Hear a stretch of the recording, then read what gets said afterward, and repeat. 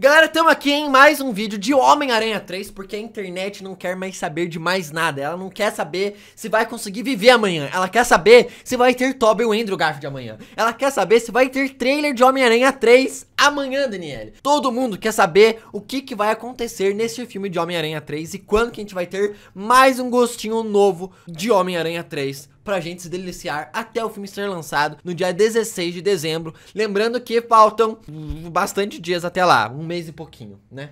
Enfim, antes de tudo, quero pedir para você se inscrever aqui no canal, que a gente tá fazendo vários vídeos aqui essa semana. Vai ter a Disney Plus Day, que vai sair nessa sexta-feira. A gente vai cobrir o evento todo aqui no canal também. Mais um motivo para você estar tá inscrito aí e acompanhar tudo com a gente vem uma enxurrada de coisas novas e vazamentos de Homem-Aranha 3 que provaram ser reais, que nós já falamos em outros vídeos aqui no canal. Porém agora, tem pessoas querendo saber sobre o trailer 2 e tem novas informações sobre o trailer 2 de Homem-Aranha que vai sair muito em breve. Lembrando que Daniel RPK ontem à noite acabou fazendo uma postagem no seu Twitter dizendo que não é para ter trailer de Homem-Aranha 3 esta semana. Mas ele falou que o trailer vai sair muito em breve. Muito em breve. Ele disse que o trailer está muito perto de ser lançado. Ou seja, muito provável semana que vem. Muito provável ser semana que vem. E aí tem pessoas ali já querendo estipular que dia que esse trailer pode sair. Eu já tinha feito minha análise maravilhosa, épica, pegando vários trailers da Marvel, da Sony, os seus datas de lançamentos, dias, segundas, quintas. Oh my god! E no fim não deram um errado. Aí eu te digo para vocês, aqui está o calendário e eu quero dizer, que dia você acha que vai sair? A maior quantidade de pessoas é acreditando que vai sair segunda-feira no dia 15, que vai bater basicamente quase um dia do lançamento de Homem-Aranha 3. Lembrando que lá fora estreia dia 16, então pode ser aqui, ó. Eu estaria nesses três dias aqui, porque na outra semana, na quarta-feira, já sai Hawkeye. E aí, né? E aí, né? Tipo, dia 15, 16 vai dar um mês exato perto do filme ser lançado. E a gente chutaria que seria nessas possíveis três datas, dia 15 a 17. Talvez, talvez. Aí o que acontece? Esse segundo trailer de Homem-Aranha, tá todo mundo querendo saber por que que tá demorando tanto para sair, porque era para ter saído já mês passado, se fosse de acordo com as datas mais comuns que os filmes acabam lançando seus trailers para divulgar os filmes. O que acontece é que, segundo a Grace Randolph, ela falou que o atraso do trailer de Homem-Aranha 3 está provavelmente por causa da equipe de efeitos especiais do filme está mais preocupada em terminar os efeitos especiais do filme do que fazer os efeitos especiais pro trailer e não terminar o filme a tempo. Ou seja, a equipe de efeitos especiais tá querendo terminar e priorizar o filme, porque se é para ter tantos vilões como é tá para ter, né? Tipo, o Galton Holland já confirmou o Electro do Jamie Foxx no filme e vai ter o Homem-Areia, Duende Verde, Dr. Octopus, Homem-Aranha, Doutor Estranho, outros dois Homem-Aranhas. Minha gente, se for para ter tudo isso mesmo, Wong lá, Sancto Santorum em neve, se for para ter tanto efeitos especiais assim, realmente é, é muita coisa além do normal para um filme solo de um Homem-Aranha, né? Então é bem provável que eles estejam bem mais preocupados em terminar os efeitos especiais do que fazer um trailer bem da hora pra galera vender. Agora, a gente. Já tá vendendo sem trailer, né? Já tá vendendo sem trailer, a internet em si vende tudo sozinho. Pra que fazer algo a mais além disso, sabe?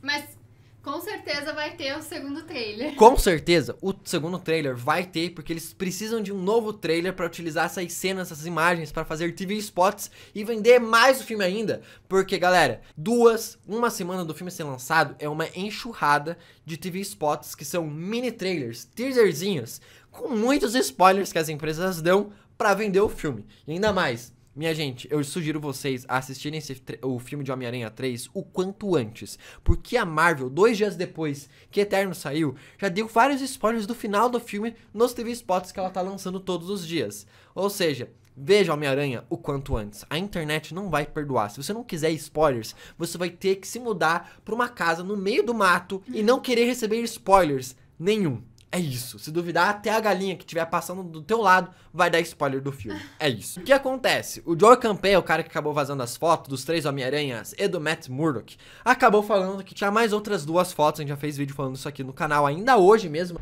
É esquisito, mas eu vou deixar. Um insider lá dos Estados Unidos, um criador de conteúdo lá dos Estados Unidos, acabou falando que ele disse sim que os vazamentos de Homem-Aranha 3 são reais, ó, são reais mesmo, porque a Sony possui três versões do trailer. Em uma dessas três versões do trailer, ela vai revelar tanto Tobey Maguire quanto Andrew Garfield e os outros vilões, né? Beleza. Só que as outras versões, né, as outras duas versões do trailer, não revelam os dois Homem-Aranhas. E, eles, e as duas empresas ainda estão debatendo em qual versão do trailer que vai ser lançada. Outra pessoa aqui que é esse William Johnson, ele acaba escrevendo para o Fandom War, um site bastante gigante lá nos Estados Unidos, e ele falou que também está escutando as mesmas coisas que outro cara, dizendo que a Sony tem três versões do trailer e que uma delas mostra também o Tobey e o Andrew Garfield, e as outras não. E ele falou que em todas as três versões do trailer que estão planejadas para serem lançadas, que ainda não escolheram, em todas elas vai aparecer todos os vilões do filme no segundo trailer de Homem-Aranha. Ou seja, Não vai ficar uma nuvem. voando, uma tempestade de raio, um bicho é, é na, no na escuridão, a granadinha. Vai aparecer todos os vilões no segundo trailer. Aí, minha gente, aí vem o surto, Daniele. Por quê, né? Porque, além disso, é bem provável que os outros Homem-Aranhas também apareçam, né? Independente, a gente vai ter todas as versões dos vilões dos Homem-Aranhas.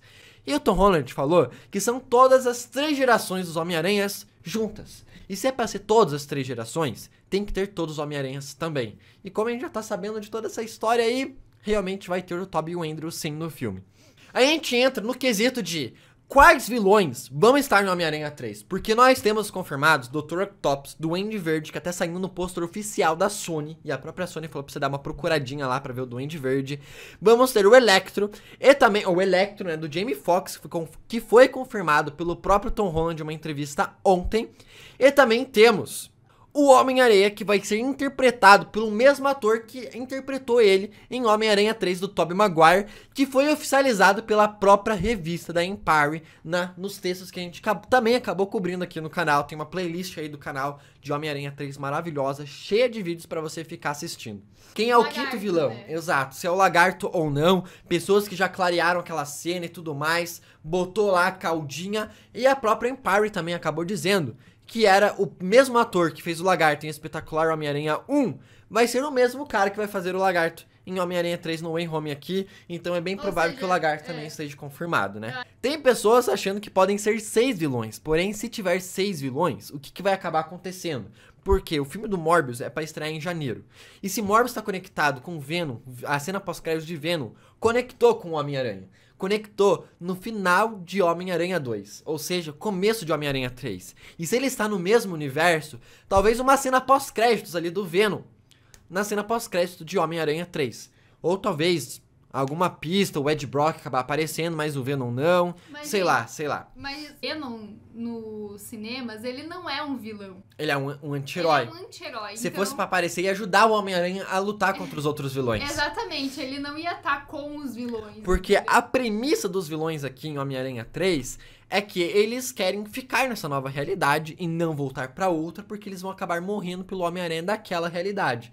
E já o Venom não tem nada de acabar morrendo na sua reali- realidade original. Então não faz sentido. Então faria sentido ele querer ajudar o Homem-Aranha e o Doutor Estranho a voltar esses vilões para suas realidades originais, porque ele vai querer estar na sua realidade original.